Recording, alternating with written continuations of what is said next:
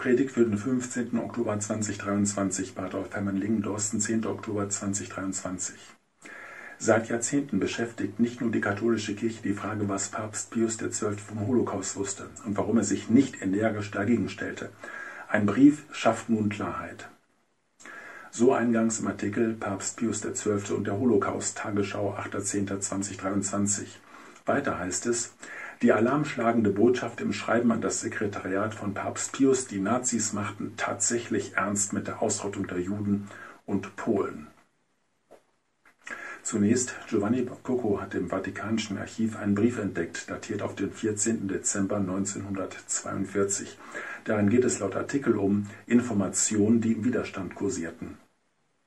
Was irgendwo kursiert muss deshalb noch nicht absolute Wahrheit sein. Jeder kann selbst Nachforschungen anstellen zu Themen wie Vergasungen in Dachau, Judenseife, Hermann Rosenblatt und Mischa de Fonseca. Im ARD-Text Auschwitz Geschichte einer Todesfabrik heißt es, nach dem Krieg vermutete man zunächst 2,5 bis 4 Millionen Tote, da die Nazis die Zahlen offenbar selbst übertrieben hatten. Heute gehen Forscher davon aus, dass mindestens 1,3 Millionen Menschen nach Auschwitz deportiert wurden.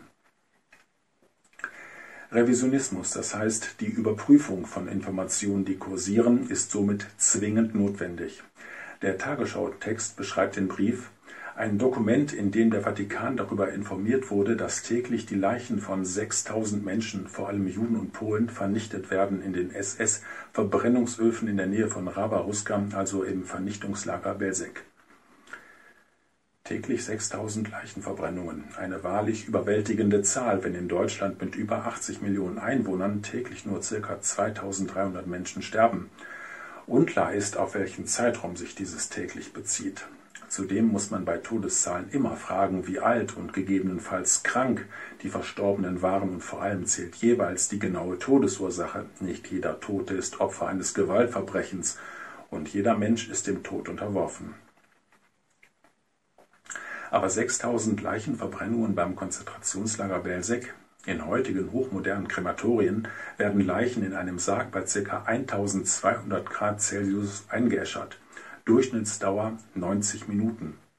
Revisionisten geben normalerweise zu, dass in den Konzentrationslagern der Nazis andere technische Ausrüstungen bestanden als in heutigen hochmodernen Krematorien. Auch glauben nicht alle Revisionisten, dass die damalige Leichenverbrennung erheblich kürzer dauerte als heute. Ist es möglich, dass Papst Pius XII. zweifelte an der Glaubwürdigkeit der Informationen, die im Widerstand kursierten? Jedenfalls geht es ja um genau diese Frage. Was wusste Papst Pius XII.? Besteht jetzt tatsächlich Klarheit, dass Papst Pius XII. wusste, dass 6000 Leichenverbrennungen täglich im Konzentrationslager Belzec nicht nur ein Gerücht, sondern Realität waren? Und nochmals, die ARD selbst meldete, nach dem Krieg vermutete man zunächst 2,5 bis 4 Millionen Tote, da die Nazis die Zahlen offenbar selbst übertrieben hatten. In jedem Fall wusste der Papst, dass Menschen zu Übertreibungen fähig sind, und manche kennen das Zitat Das erste Opfer des Krieges ist die Wahrheit. Was also sollte der Papst mit diesen Informationen, die laut Brief im Widerstand kursierten, anfangen? Was waren diese Informationen eigentlich wert? Wieder der Tagesschau-Text. Kuko weist darauf hin, dass Lothar König, der Kurier des Kreisauer Kreises, in dem Brief auch um Stillschweigen und Vorsicht bittet. Möglicherweise meint Coco liege darin eine weitere Erklärung für das öffentliche Schweigen Pius zu den Nazi-Verbrechen. Also im Grunde lautet doch wohl die eigentlich alarmschlagende Botschaft des Briefes, dass der Papst bei Äußerungen über das Nazi-Regime vorsichtig sein möge. Was immer du tust, das solltest du klug tun und beachte das Ende. Spätestens jetzt muss man sich fragen, inwiefern dieser Brief Klarheit schafft, ja weswegen dieser Brief überhaupt eine Erwähnung bei der Tagesschau wert war.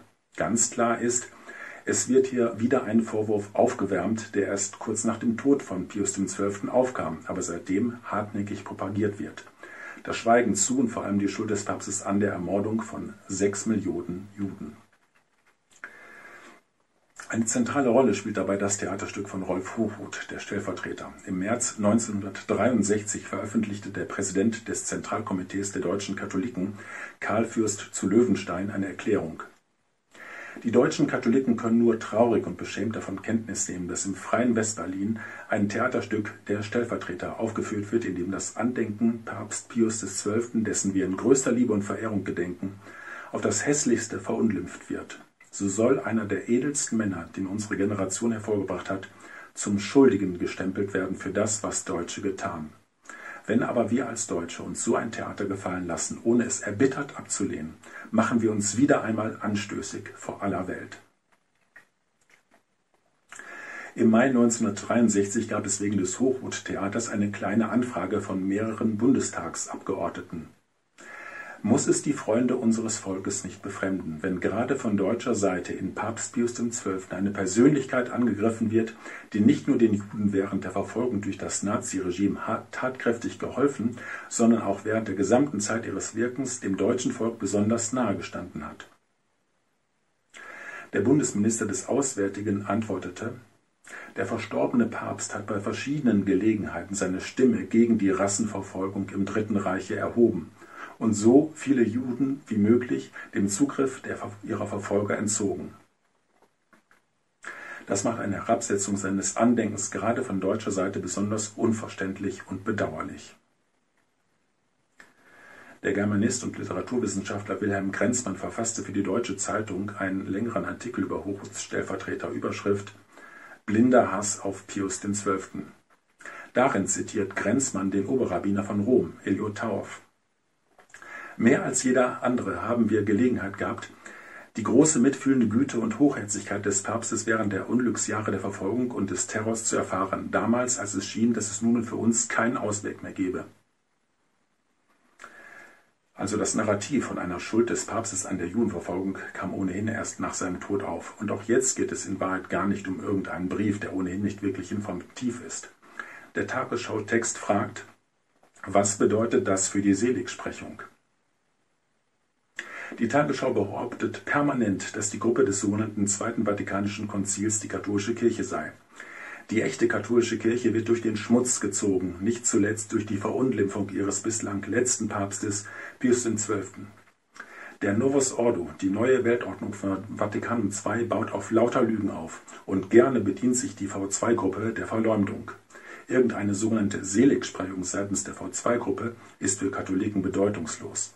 Zudem spricht sich die V2-Gruppe obendrein im Hauruck-Verfahren selbst heilig.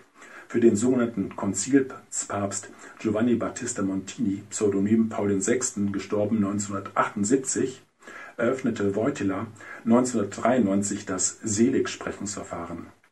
Nach Vorarbeit durch Ratzinger 2012 besorgte Bergoglio 2014 die Seligsprechung und 2018 die Heiligsprechung. Beenden wir den blinden Hass auf Pius XII., verkünden wir den Wahlspruch von Pius XII. Opus Justitiae Pax. Gerechtigkeit schafft Frieden. Amen.